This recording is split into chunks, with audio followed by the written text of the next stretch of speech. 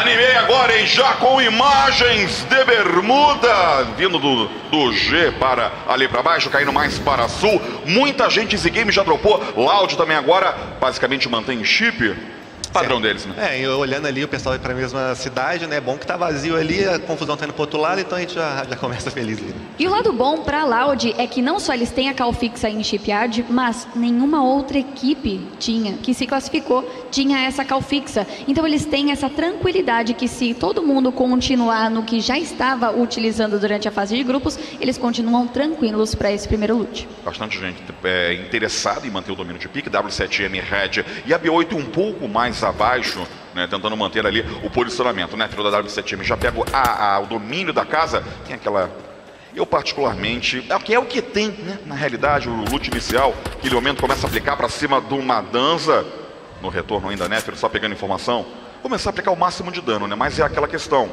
O Lucas, Noob Zero e o Topete ainda não encontraram nada, Ana.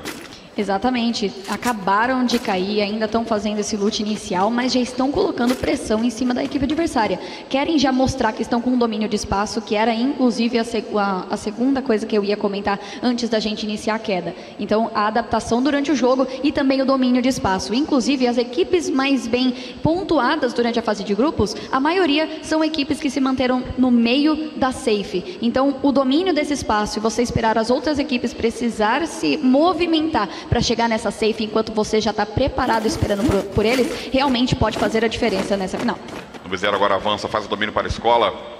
É um local bem disputado, né, Play? Pra... Sim, muita gente caiu ali em pique. Repare que o pessoal caiu, três squads, eles já viram que tinha confusão, cada um foi para um canto, porque trocar no começo assim, da final da Pro League é complicado. Então o pessoal foi se separando. Inclusive, uma das equipes que caiu no meio dessa confusão é a equipe da Red Canids Calunga. E eu acho, inclusive, que eles têm que se acostumar com isso, porque aqui em Bermuda já começou assim, em Purgatório eles têm queda fixa em Brasília, e em Brasília não são só eles que caem lá. Mas é aquela questão também, né? Isso que, isso que o Brunão falou, é uma verdade. Forçar lutas iniciais não é tão interessante do ponto de vista estratégico, mas também é um esquema tático. Ué, vamos, vamos estourar logo alguém, é uma, uma tática Se arriscada. Se achou uma Scar ali, achou alguma arma boa, vale a pena, vai para cima. Mas o pessoal tava ruim, ele de VSS, sem loot. Sim, e sem falar no questão psicológica também. Né? Isso é uma coisa muito importante, o Felp fala muito isso. O quesito psicológico é fundamental para um bom torneio. É aquela história, você tá num cover, tu botou o roxinho no sol aqui, Brunão, tomou um capa, pô, pera aí, galera tá afiada, vou pensar duas vezes, então tem que se tomar cuidado. Tudo importa, toda vírgula é importante em final presencial. A energia da galera é realmente incrível. E tá ele aí na tela, FLQP ou FL da, da Easy Game Vamos acompanhando porque não estão sozinhos, Aninha. Exatamente. Tem, estão, na verdade, se aproximando de uma outra equipe que já estava nessa região de Cape Town. E uma coisa interessante que você estava falando, né, da questão psicológica, não é à toa que a gente fala da torcida. Ali o Murilo e o Folha estavam falando da torcida pesar a favor ou contra as equipes, tanto a torcida é, estando a favor da sua equipe, é, querendo levantar e aí você acabar sentindo a pressão, ou contra a sua equipe e você acabar também sentindo a pressão, porque você acaba sendo a zebra. Vamos ver agora, a Easy Game continua ali rodando essa casa. Eles já fizeram cima. a leitura. Pro Game contra a Easy, vamos acompanhando? E falei, vamos pra cima, vão nada. É, parece que não. Eu me empolguei. As duas equipes eu sabiam. Quero, eu quero ver a primeira luta acontecendo. Entendeu? As duas equipes sabiam. Uma equipe conseguiu fazer a leitura muito bem da outra e foi exatamente o que o Playhard falou. Hum, galera não quer arriscar. Vamos sentir primeiro nessa primeira queda e depois a gente assume uma postura um pouco mais agressiva, né? Não? Com certeza. O pessoal viu que tinha gente ali na casa, já foi rodeando ali pela negativa. Eu tô ansioso para ver a última safe aqui da Pro League, como que vai ser, porque eu tenho certeza que vai ter muita gente viva e a trocação vai ser muito intensa. É, inclusive a gente estava falando do RNG, da questão da safe, que às vezes ela trola. Eu, particularmente, quando eu estou assistindo, não quando eu estou jogando, eu gosto quando a safe trola. Porque eu acho que traz um, um gostinho a mais, ali traz um tempero a todo o jogo que, para mim, se destaca. Até porque as equipes que gostam de ficar no centro, que normalmente já caem mais no centro do mapa, têm que se adaptar. E as equipes que acabam ficando é, nas extremidades, consequentemente, também. Inclusive, uma das equipes que gosta bastante de jogar na, nos, nas extremidades é a God trocaram a sua queda, estavam caindo em Sentosa até então, pelo menos a maioria das quedas. Aqui fizeram essa, essa caminhada basicamente depois do avião mais para oeste de Bermuda e agora já estão dentro da safe e esperando treta rolar. E a marcação da primeira safe já, já apareceu ali na tela, fechou para a Clock essa primeira, uma safe muito boa para o Corinthians, bem, muito bem posicionada também. Loud já fez uma leitura incrível, liderado pelo Charin. Olha, olha lá. Tem o carro ali na mão da PEN e a Loud também tá de carro. Então eles começaram lá em cima e já estão se posicionando no centro da safe, aquilo que a gente falou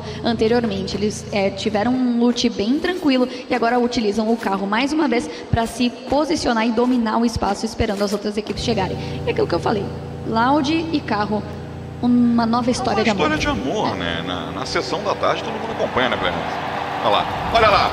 Aplicada por cima agora o Bida, vamos Opa. acompanhando. O Gert também subiu. Um capa ali no Braddock. Complicou pra ele, Gert faz o retorno, mais um! O Will ignorou, saiu correndo dali. É o duelo da Loud contra a PEN. Vamos ver no que leva melhor. O Phoenix agora caiu, foi eliminado! Continua Braddock muito machucado. O Will também vai tentar rodar esse kit médico. Charim pega o domínio do, do murinho no final. Gert lá por cima caiu. A leitura da Rise foi muito boa e chega no momento. Will ainda muito machucado. Centro e três no capa. Loud wipa. E na sequência é wipada pela Rise. Mais duelos. Easy Game agora contra a Pro League. 170 Elden. Que homem maravilhoso, Brasil. É Pro League. Eu falei, eu tava esperando essa primeira luta acontecer e ela já acabou com a esperança de duas grandes logo de cara nessa primeira queda. Estávamos falando da, da movimentação deles com o carro, acabaram indo para a mesma localização e aí tiveram que se enfrentar. E que leitura de jogo da Rise que soube perceber que estava rolando trocação e chegou pegando eliminações e garantindo já o squad wipe. E aí, foi? Rapaziada, eu fiquei triste, viu? Mas, Ficou, né? Mas eu acho que, que, tipo, eu vi a trocação ali, PEN versus Loud, se eu não me engano, pelo que percebi pela câmera ali, foi uma das melhores trocações que eu vi até agora, porque durou muito tempo, todo mundo ruxando, atirando de perto, durou muito tempo. No final, a Loud conseguiu ter dois jogadores ali vivos, ele ia rilar, acabar o Braddock, que estava ali deitado, eu acho. A Ryze chegou completa, falou, o que que tá acontecendo? Deixa eu dar uma olhada aqui. E aí limpou todo mundo. É aquela famosa sorte, né? Mas, nesse caso, leram bem o jogo e conseguiram pegar o pessoal da Loud desprevenido. Mais mais trocação rolando aí da God contra a NTZ. Com, com certeza. E só falando rapidamente ainda da Rise, a Rise é uma equipe que não tem medo desses, dessas primeiras lutas. Sim. Fizeram isso, inclusive, durante a fase online, na super rodada, sempre encontrando logo no começo uma grande equipe e já começando os Eles vão estar tá bem de loot agora, porque pegaram é... o loot de é. todo mundo ali. Exatamente. Né? E vou te falar que a Loud jogou muito bem, tomou a primeira eliminação, mas depois colocou o Gert, que é um jogador que tem se destacado e muito na equipe da Pen Gaming, derrubou ele e aí conseguiu acabar. A galera de casa gostou dessa briga aí, com certeza. Ó. Emocionou aqui todo mundo. O Martins agora da janela mandando bala. A próxima save já foi marcada para rim. Ainda temos informações, Basile, lá da janelinha, na tranquilidade total, um, uma belíssima máscara dele com uma barba ali holográfica. É legal ver os jogadores jogando ali na, na câmera do lado, a velocidade né, da, da, movimentação, muito, muito legal, cara. Me dá um pouco de tontura de ver ele jogando, né? Pô, pô, peraí, gente, devagar, né? Não entendi direito. Mas temos troca ali, Aninha. E aqui, vendo a equipe da God, uma coisa que a gente pode destacar é que o Vasily, ele foi um jogador que começou jogando de Olivia no primeiro dia. Então, ele fazia um trabalho mais de suporte, depois a God mudou um pouco de estratégia, então a gente pode ver que ele está usando Laura agora. Então, mudou, e assim como as outras equipes, inclusive, bastante equipes mudaram a estratégia durante toda a fase de grupos e com certeza aqui para essa final também. Inclusive, só falando disso, Soares já aparece utilizando o Joseph. bombardeado de crossbow ali, complicado, que o dano vem nem sabe de onde que tá vindo. Fica perturbando, né, incomodando. É muito irritante, cara. Você sabe, consegue localizar o adversário quando você utiliza ela, é uma vantagem muito boa. Sim excepcional, no B0 da, da, W7M, a Red posicionada próxima também, ele traz ali uma M1014, e na sequência parece ser uma Scar. Né, no... Metade da safe está na água já, Eu imagina? ia falar disso, eu ia falar exatamente da safe. A gente estava falando do RNG da safe e olha só, a God que tinha ficado na extremidade agora está extremamente bem posicionada, dominando o espaço do começo ao fim ali e agora tem que lidar com metade da safe de água. Muitas equipes vão ter que se adaptar logo de cara e é assim que eu gosto. Bom, B8, o Raposo faz o trabalho avançado, o Raposo mais alguém que agora não dá para ver o nome, mas W7M na rotação e Pro Gaming também. Red faz o domínio da Dick Factory nesse momento, dentro da safe, ainda um pouco mais tranquilo. De Monster Truck, Ok, é um carro com uma, uma defesa um pouco maior, mas tomar um K para o Monster Truck é muito simples. Duelo iminente acontecendo no B0 na câmera para vocês. Um gel já foi levantado pelo topete. Lá vai ele na troca. Dexter já caiu. W7M fazendo um bom trabalho nesse momento. Muita bala! Topete subiu um capa excepcional e na sequência caiu. W7M, vai para Red. Volta pro Love, bebê! E jogou bem a W7M nessa trocação. Que gelo insano. Deu aquele pulinho, pareceu que ia pra cima. Falou, opa, não. Eu vou colocar aqui essa cobertura e aí eu vou pra cima de você a hora que eu quiser e não o contrário. W7M perdeu um de seus jogadores, mas saiu ganhando muito, né, foi? As trocações aqui da Pro League estão num nível absurdo. Um segundo que você olha todo mundo vida vermelha no chão. Então é, é incrível, cara, viu? É só capa, não, não tem muita conversinha não. Só o capa interessa aí pra galera. E vamos acompanhando porque o Corinthians até agora não apareceu. Tem informação a equipe corintiana da próxima safe, da marcação. Vamos ver como é que vai ser o posicionamento deles. W7M que perdeu, né, Firo? Capitaliza 80 pontos até o presente momento, visto as quatro eliminações que a equipe conseguiu em cima da Red, né, Ana? Lembrando que a equipe corintiana, o Corinthians, o bando de loucos, foi uma equipe que se destacou pela quantidade de pontos que eles conseguiram em ranking. É a equipe estatisticamente falando mais consistente da Pro League neste momento. Das 12 equipes, é a equipe que metade das quedas. Não, metade não, desculpa. 11 das 12 quedas ficaram no top 6. Eles ficaram fora do top 6 apenas uma vez na nona colocação. Então, assim, uma equipe que está constantemente é, brigando pela sobrevivência e aí no final do jogo, quando a troca é necessária, eles vão para cima porque tem muita mecânica Sim. e aí consegue essas eliminações com bastante facilidade. Sim, eu, eu vi, eu acompanhei muitas partidas, eles estão sempre bem posicionados, rotacionando bem, escolhendo a hora de trocar, vários casos que eles olham assim e falam, não, agora não, mas chega no final eles vão emboiar, conseguem eliminar todo mundo. Então o pessoal joga muito bem, se eles ficarem se posicionando ali, eles não vão pegar muito aqui agora, mas quando fechar as próximas safe, com certeza eles vão se destacar ali.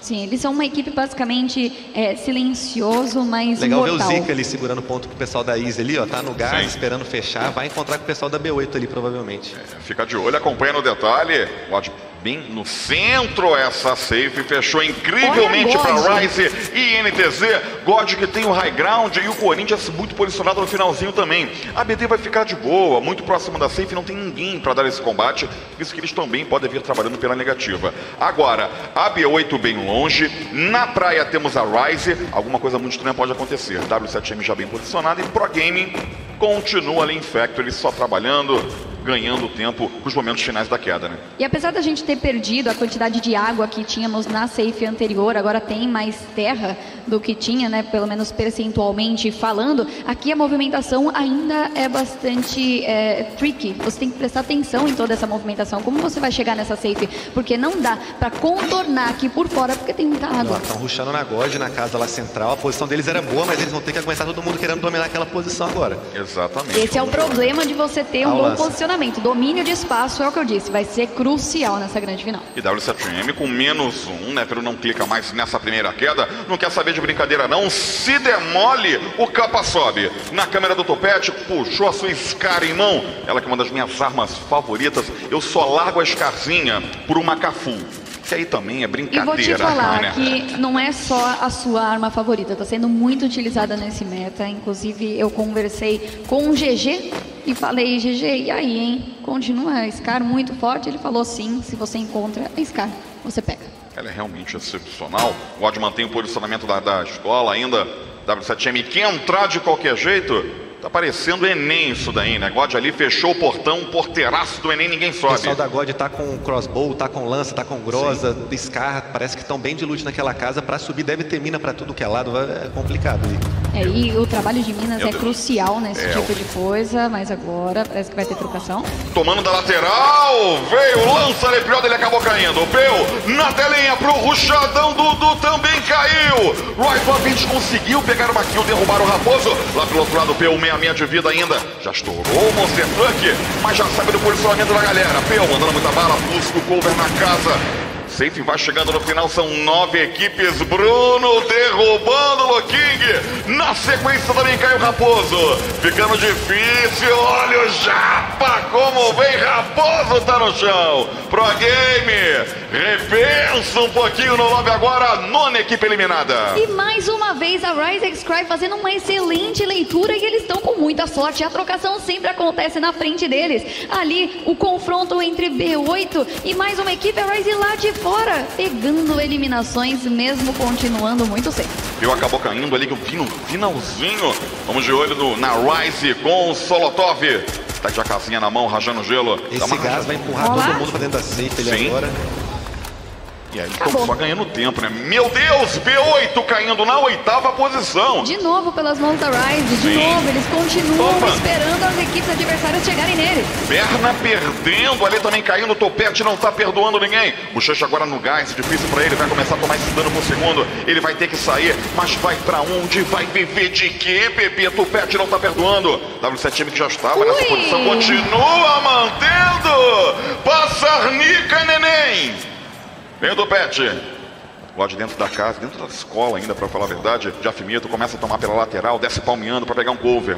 20 vivos ainda, olha a confusão. Sim. Opa! Opa! Black Dragons caiu em algum lugar na câmera aérea, você acompanha a W7M dentro do gás, na troca com a God. Luquinha acabou sendo eliminado nesse momento, levanta um gelo, opa! Só o Nobizero tá vivo, é o ruchadão da alegria agora. O Nobizero não tá tão bem armado assim, pelo menos não tô vendo, tem uma arma de rush, na realidade.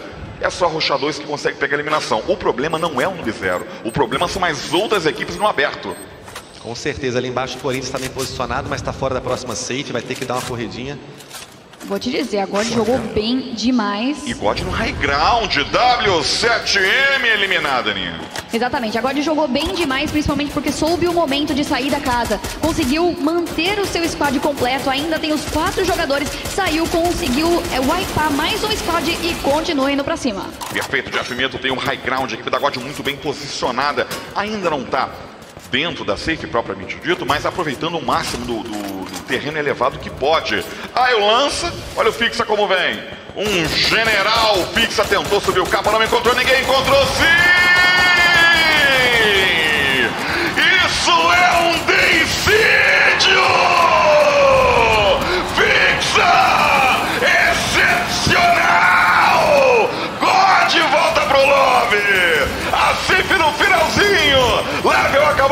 Nesse momento. Três equipes. Izeded foi completamente eliminada, mantendo Corinthians, quem mais vive. E NTZ nessa brincadeira e a Rise também. Chegando perto daquele momento que todos querem ver. Vamos de olho no fixa. Vem full, level up já foi levantado. No Bru também mandando demais. Ruxadão!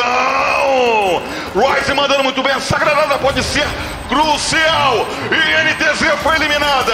Corinthians contra Rise. Na câmera do Roof, lá vem, caiu no Bru. Japa também foi. Brasil! Buia!